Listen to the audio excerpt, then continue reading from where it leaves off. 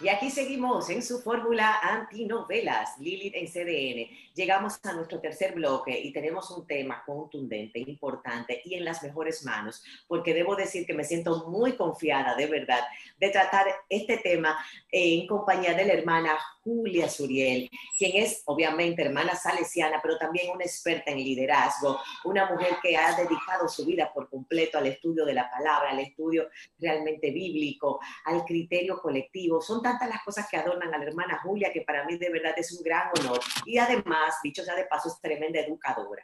Y bueno, le hemos preguntado, le hemos puesto en compromiso, ¿eh, hermana Julia? Así es, así es. le hemos preguntado un tema que yo creo que hay tanta gente, hermana, que lo ha tratado, que quiere de verdad una respuesta. Y yo sé que usted tiene mucha luz para nosotros. Y es básicamente, ¿cuál es la lección que esta pandemia le está dando a la humanidad? ¿Qué debemos como colectivo, como entes humanos, como toda una raza, como toda una especie, digamos? ¿Qué debemos nosotros aprender de todos estos desafíos que nos han tocado vivir? Y para eso tenemos a nuestra querida hermana Julia Suriel. Cuéntenos, hermana, tremenda lección para la humanidad. ¿eh? Claro que sí, Lili. y, y gracias primero por invitarme. Y para mí es un honor estar aquí a tu lado, ¿verdad? Con una experta en comunicación como tú. De verdad que la crisis del coronavirus y la pandemia nos ha sorprendido a todos. Eh, ha sido como una gran tormenta que se ha descargado de repente, cambiando de verdad casi súbitamente la vida familiar, personal, laboral, pública. Eh, mucha gente ha perdido familiares, mucha gente ha, ha perdido eh, madre, padre, personas queridas. Eh, mucha gente ha caído en dificultades económicas, otros han perdido puestos de trabajo eh, y sobre todo para nosotros los cristianos, eh, en, en muchos lugares, países, no hemos podido ni siquiera celebrar nuestra fe, la fiesta de la cristiandad, celebrar, reunirnos, convivir, vivir juntos nuestra fe como comunidad para obtener fuerza y consuelo a través de los sacramentos, de la vida de fe. Eso ha sido algo muy difícil. Y esta, esta dramática situación yo pienso que ha puesto en evidencia, en primer lugar, Lili, la vulnerabilidad, la caducidad, la contingencia que nos caracteriza como seres humanos. Y esto ha cuestionado mucho nuestras certezas.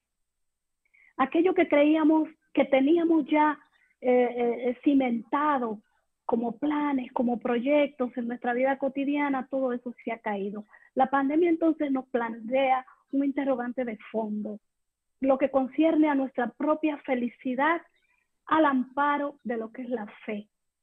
Y en este caso, ¿verdad?, de la fe cristiana. Eh, esto ha sido entonces un momento de crisis, una crisis que nos ha llevado primariamente a considerar nuestra nuestra identidad como seres humanos. Mire, eh, yo le iba a preguntar, porque de verdad la, oigo, pero quiero conectar con algo que a mí me ha llegado en particular, y es el tema de nuestra sensación como especie de control. Creemos, queremos creer que controlamos las cosas. Y si hay algo que hemos aprendido es que el control es una ilusión. Y usted hablaba de la vulnerabilidad y yo pienso que en las guerras de ego que vivimos como especie, sobre todo las personas, mientras más poder, mientras más acceso al poder tienen, pues viven en, esa, digamos, ilusión de que yo soy un ego exacerbado que no tiene vulnerabilidad. Eh, nos estamos viendo realmente todos iguales. O sea, yo, yo estoy empezando a ver una transformación desde la perspectiva de que el COVID no discrimina por raza, ni nivel socioeconómico, ni situación, ni donde yo vivo. Realmente a cualquier persona le puede contagiar la enfermedad del virus y, puede acabar incluso con su vida. Entonces, el yo tener esa seguridad de que yo tengo todo el control porque tengo dinero, porque tengo poder, o el yo tener la seguridad de que, de que realmente eh, yo puedo resolver situaciones porque tengo el poder, eh, son, digamos, mitos que se han desmitificado en buen dominicano, en, la realidad nacional y mundial. Así es, Lili. Yo pienso que esa es la primera lección de la pandemia, que nos ha tumbado todas las certezas que teníamos. Si teníamos la certeza de que en lo económico estaba en nuestra seguridad, no está ahí porque el dinero no nos ha evitado bajo ninguna circunstancia que el virus nos contagie. Ni la belleza, ni el poder, ni la fama, cuántos famosos, cuánta gente hermosa, cuántos artistas eh, han muerto, han, han sido víctimas también de la pandemia. Entonces, esta es la primera lección, la vulnerabilidad, donde nosotros tenemos enfocada nuestra, nuestro fundamento. ¿Cuál es el fundamento de nuestra vida? Es, es, lo de afuera, son las cosas que pasan, las cosas perentorias o son valores trascendentes, ¿verdad? Nosotros los que creemos, creemos que debemos tener fundamentada nuestra vida en Dios, pero aún los que no creen, ¿cuál es su certeza? ¿Dónde tienen fundamentada su vida? Y eso nos lo ha dicho la pandemia. No, nos ha dicho, no fundamentes tu vida en cosas perentorias, porque eso pasa. Entonces, esta es la gran lección y yo creo que, debemos aprenderla y el consumismo, por ejemplo. O sea, pensamos en, ese aspecto de que, bueno, yo siento que tengo el control del futuro porque tengo mi vida completamente organizada. En la palabra, yo sé que, usted la conoce de cabo a rabo, se hablaba tanto de este, eh, grané, de este eh, eh, agricultor, granero que, tenía, que quería aumentar sus almacenes para guardar todos sus granos y le decían en la palabra, bueno, y no sabe que mañana ya no va a estar aquí. Mañana te van a pedir la vida, exactamente. Entonces, nosotros nosotros debemos eh, eh, quizás eh, volcarnos hacia, hacia la otra parábola, Lili, a, la, a, la, parábola de la perla, la perla preciosa, esa mujer que pierde esa, e, esa moneda, ¿verdad? Y que para ella era una perla. Yo imagino que esa moneda era de oro y era muy valiosa. Y barrió toda la casa y buscó y buscó y rebuscó. Entonces, ¿cuál es esa perla que tú como ser humano tienes, por lo que tú luchas, por lo que tú vives. Quizás hasta muchos hemos descubierto que es la familia, que son nuestros hijos, que son nuestros padres, eh, que es nuestro propio interior. Eh, ¿Cuánta gente, verdad, ha encontrado en esta pandemia eh, su centro, centro. Donde, está tu corazón, está tu tesoro. Eso que te importa y es que está tu fortuna. Fíjese, eh, eh, hermana, que hay, muchas condiciones. Yo le voy a hablar de cosas mundanas también, porque usted tiene que... Claro, Estamos viendo situaciones donde aquellos que tenían, digamos, una sucursal, ahora no la tienen porque tienen que quedar confinados a su casa. Yo veo mensajes muy, muy contundentes de manera muy básica de que es lo que nos están pidiendo es tránquense en su casa, atienda a sus hijos, atienda a su cónyuge, su esposa, su esposo y viva un día a la vez. O sea, yo siento que básicamente, y obviamente olvídese del criterio de que usted tiene el control de la vida, porque el control de la vida lo tengo yo. Y si, te has dado cuenta, Lili, es como, es como que esta pandemia nos ha dicho, vete a lo esencial, lo esencial de la vida. Todo lo que es superfluo, ¿verdad? Incluso aquello que es importante para nosotros, como es la diversión, como son los amigos, la socialización. E, esta pandemia nos ha dicho, mira, eso es importante, pero no es lo básico. Entonces, nos ha confinado en la casa, en la familia, nos ha puesto a interaccionar con la pareja, con los hijos, con la gente que de verdad nosotros eh, una vez elegimos y, nos ha hecho afianzar esos vínculos. Hay gente que dice que también se han afianzado los divorcios. Bueno, pero yo también, yo soy más positiva. Yo, pienso que la pandemia eh, ha reforzado más buenas relaciones, porque eh, total, ¿verdad? Si, si, si dos personas yo creo que no se aguantan, mucho menos se van a aguantar en, en, cuarentena. Pandemia, absolutamente. Así es.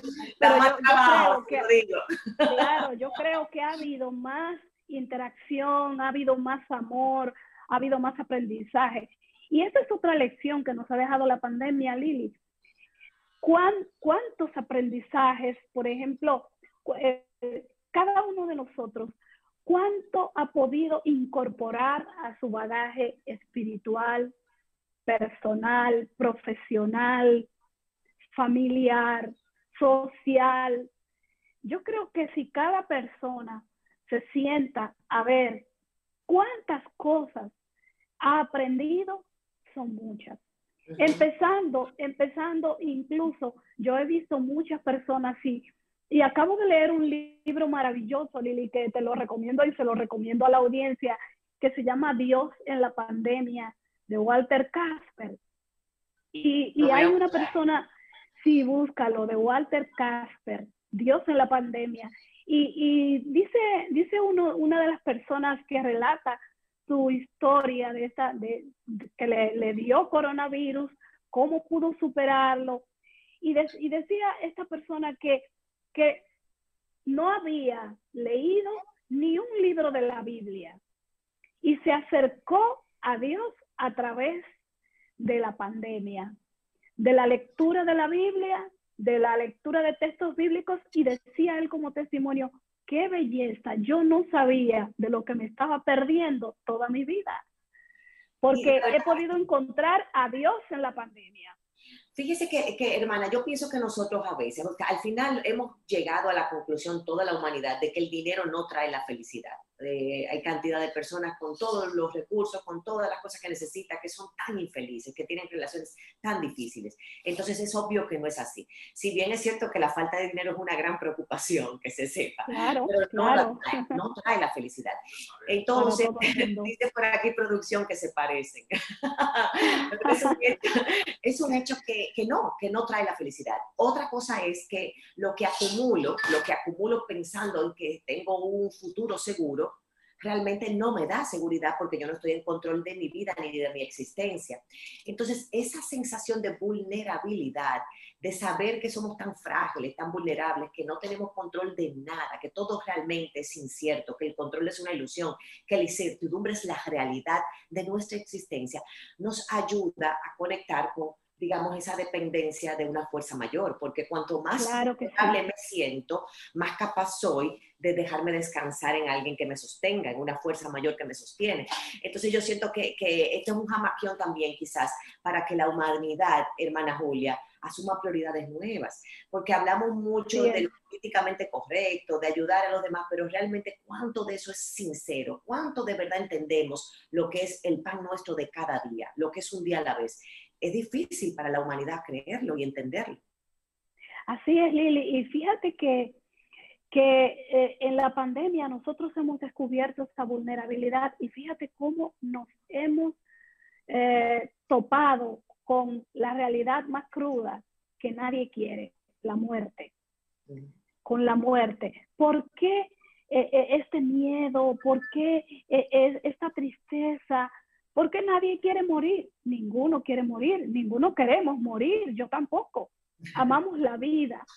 Entonces, esa, esa vulnerabilidad de la que tú hablabas nos lleva a amar y a pensar en ese Dios que está dentro de nosotros, en ese, eh, o, si, si, es que no crees, ¿verdad? O, o en esa fuerza, como, como le quieras llamar, eh, si no es Dios, pero algo que está por, por sobre ti y que, te, impulsa, que te impulsa. Ahora, yo quiero aclarar una cosa, Lili, porque hay mucha gente que habla de que, eh, de que Dios, eh, pues, está probando la humanidad, que Dios te prueba. No, no, Dios no quiere la muerte, no, jamás. Dios no está contento con que esta pandemia nos esté acabando a todos. Imposible. Entonces, no podemos eh, fundamentar eh, nuestra creencia en Dios por el sufrimiento, no, es por el amor, es por el amor. Porque eh, esta pandemia nos está diciendo que quizás hay muchas cosas que como seres humanos no se han controlado, no hemos controlado. No le podemos echar la culpa a Dios. Lo que sí nos dice la pandemia es que Dios está ahí, en medio de la historia, que Dios está ahí acompañando a su pueblo, sufriendo con el que sufre, llorando con el que llora. Pero Dios no quiere el sufrimiento, ni se ensaña con nadie en el sufrimiento, ni goza viendo sufrir a sus hijos. Se dice que esta pandemia con lo que más se compara es con, con ese sismo que hubo en Portugal hace 250 años. Ni siquiera con las guerras, eh, primera y segunda mundial que nos antecedieron, ni siquiera con eso se compara. Entonces, Dios, ¿cómo va a querer que sus hijos mueran? Jamás. Entonces, Dios es un Dios de amor, aunque nos encontramos en, eh, en este choque con la realidad que no creemos, que es la muerte. Tenemos un Dios que vive. Yo le voy a decir a hermana, y, lo único seguro es la muerte. Eso es lo único seguro. Yo creo que la carrera de vida es cada día prepararnos mejor para ese momento en que nos toca irnos a otro plano, estar listos y sentirnos en paz. Yo creo que ese es la gran, la de verdad, el gran objetivo de la vida. Vivir vidas tan bien vividas que cuando nos toque ese momento, a la hora que sea, cuando sea, sin saberlo, pues podamos irnos en paz y tranquilos. Esa es la gran aspiración. Hermana, muchas gracias. Se nos fue el tiempo, pero tenemos tanto que hablar, porque la verdad es que yo lo que siento es que ser humanos es ser hermosos, que esa vulnerabilidad, nuestros errores, nuestras fallas, nuestras debilidades, nuestros miedos, nos enriquecen, nos hacen ser lo que somos, la creación que fuimos hecha.